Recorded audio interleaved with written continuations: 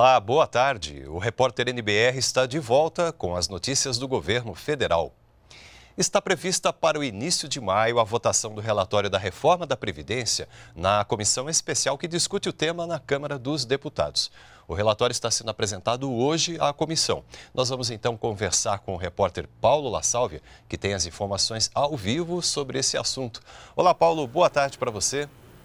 Boa tarde, Roberto. Boa tarde a todos que nos assistem na TV NBR.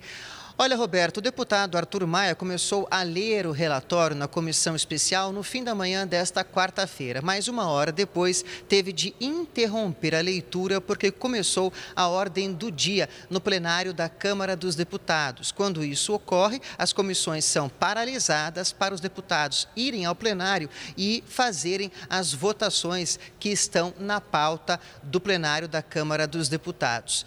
A previsão é que a comissão volte a funcionar ainda nesta quarta-feira, por volta das 18 horas, quando o deputado Arthur Maia vai dar prosseguimento à leitura de seu relatório. Em relação às regras de transição, o deputado Arthur Maia apresentou como vai funcionar a idade mínima progressiva para homens e mulheres se aposentarem. Vamos acompanhar agora um trecho da apresentação do relatório na comissão. Na sistemática adotada, faz com que a idade mínima inicialmente prevista, 53 anos para mulheres e 55 para homens, aumente progressivamente até atingir o patamar previsto no texto permanente. A cada segurado aplica-se, contudo, a idade correspondente ao período contributivo, que lhe restar na data da publicação da alteração constitucional aqui abrangida.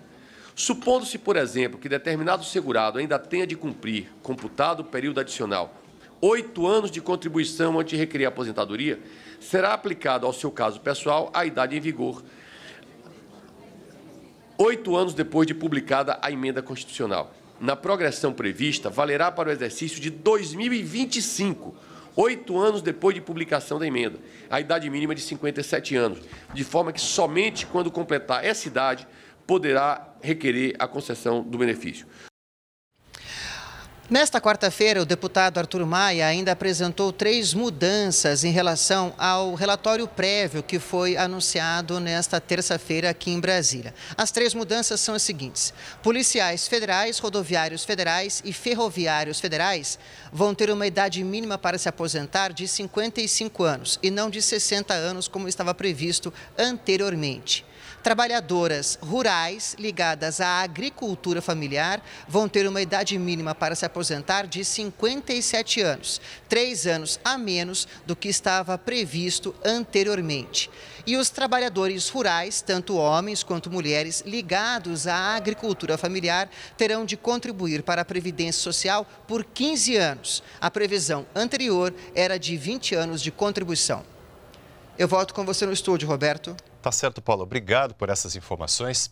E o ministro da Fazenda, Henrique Meirelles, viajou hoje para os Estados Unidos. A agenda dele inclui encontros com investidores. E quem traz mais informações para a gente é o repórter José Luiz Filho.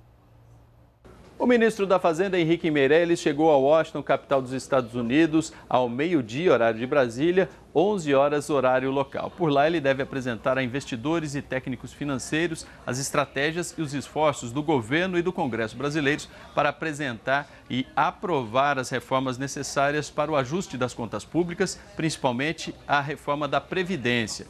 Reformas que, aliadas a medidas de modernização da gestão e do ambiente de negócios, devem abrir caminho para a recuperação da economia com a atração de investimentos, a retomada da produção e da geração de empregos. Nós estaremos nos reunindo lá durante esta semana com membros do G20, que são os 20 economias mais relevantes do mundo, e que aí estaremos fazendo um relato exatamente de todo estes, esse processo que estamos conduzindo aqui no Brasil de reformas fiscais e microeconômicas. Em seguida, ah, fazemos também palestras a grupos de investidores do setor privado que vão estar em Washington. Henrique Meirelles fica nos Estados Unidos de hoje a domingo e nestes cinco dias vai participar de palestras, seminários e de encontros com representantes do FMI, o Fundo Monetário Internacional, do Banco Mundial, integrantes de agências de risco e bancos de investimentos, além de encontros bilaterais com representantes dos governos da China, Austrália e Espanha e ainda investidores. José Luiz Filho, de São Paulo. O presidente Michel Temer participou nesta quarta-feira das comemorações em Brasília do Dia do Exército. Durante o evento, autoridades e celebridades receberam a condecoração da Ordem do Mérito Militar tapete vermelho no quartel-general do setor militar urbano em Brasília para receber o presidente Michel Temer.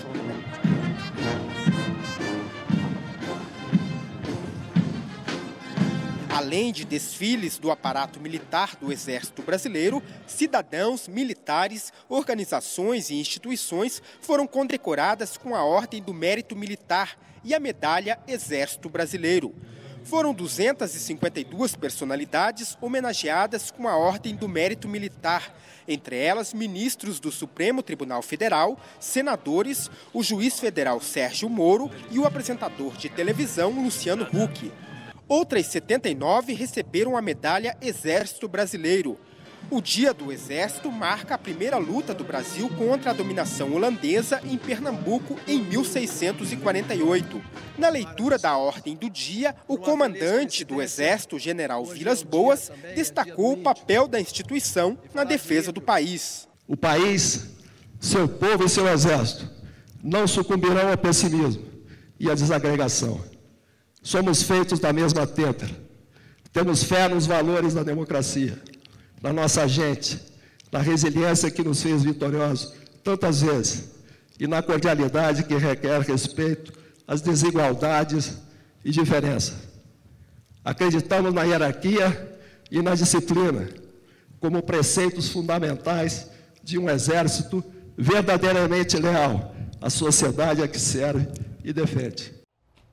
Nós ficamos por aqui. Voltamos às quatro da tarde na próxima edição do Repórter NBR. Acompanhe também as novidades pelas nossas redes sociais. Uma ótima tarde para você e continue com a gente aqui na NBR, a TV do Governo Federal.